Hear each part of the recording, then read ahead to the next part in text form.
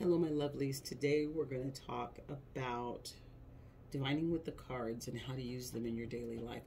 What I do is I do um, a couple of things with myself when I'm just trying to stay on point with my cards to keep me aware, keep me awake, and keep me connected into what I need to do. Sometimes it's fun, and but most of the time it does give me um, confidence. It gives me clarity. It can give me um, a key signal that I need to be aware of. And it doesn't hurt to just pull a card or two or three to get things going. So I have three different ways in which I do it, and I recommend to people.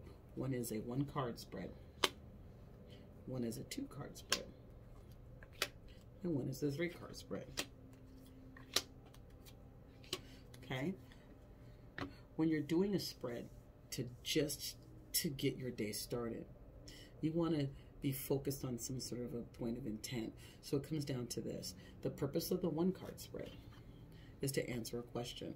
So if you have a meeting today, or you have someone you're gonna gonna connect with, or you have a proposal to give, or you have something that's on your mind, you know, your boss is coming and you want to make sure it's gonna go well, or maybe you want to know if the fight is going to come to a solution you're, with your with your love interest you ask your question you pull a card what you're looking for is the energy of the card. It's not going to tell you yes or no unless you have cards that say yes or no, right? You're going to have the energy of the cards. What you're looking for is what is the energy of the card? So, for example, if I asked a question and this card that I pulled, it says it's Unakite and it's answered prayers. There's nothing much more positive than this card in terms of a yes or a no, right?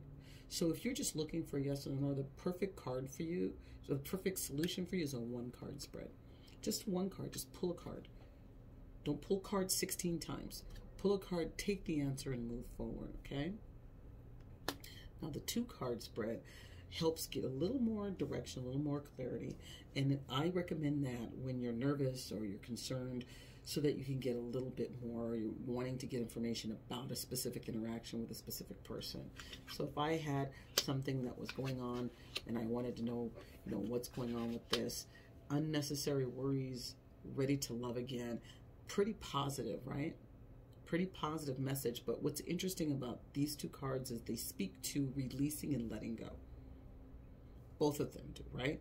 Unnecessary worries. Stop worrying ready to love again, ready to let go and let somebody else into my life. So it doesn't necessarily mean that I'm asking about a person or a loved one. I could be asking about a job, I could be asking about a, a paper, a term paper, and it's giving me the guidance to let go of worry. It's giving me the guidance to let go of the situation. It's in God's hands now. So I'd see this again as a very positive, um, read a very positive answer, not necessarily a yes, but a let go, right? Which would be helpful if you were obsessed or upset about something, right? Very good. For your three card spread, it gives you kind of a themed message. And I like to do three card spreads, you know, not every day. It's a lot of work. Um, I put them up on the on the internet for you guys and hope that you guys enjoy them. But for yourself, I recommend one or two cards.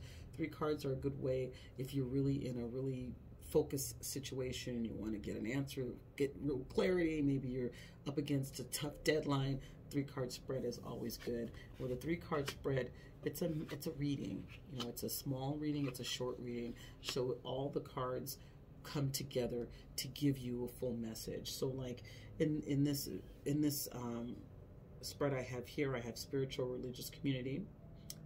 Angel light I have be gentle with yourself and I have control issues. So there is a message here, right? There's a message about coming together with a with a religious community or coming being greater connection to yourself spiritually, being gentle with yourself, taking care of yourself, not being so hard on yourself. And then control that which you can control and let go of that which you cannot control this is a really powerful message. If I'm upset about something, if I focus on something, if I think somebody's mad at me, if I think that something's happening, we get caught up in that kind of stuff a lot. So when you're going to do a three card spread, hear the message, see the message, and then use that as a tool. It's not an absolute, it's just a tool. All right. I hope that was helpful. And I'm looking forward to engaging with you at the next three card spread. I hope you have a fabulous day. Thank you for dropping by. Ciao, ciao.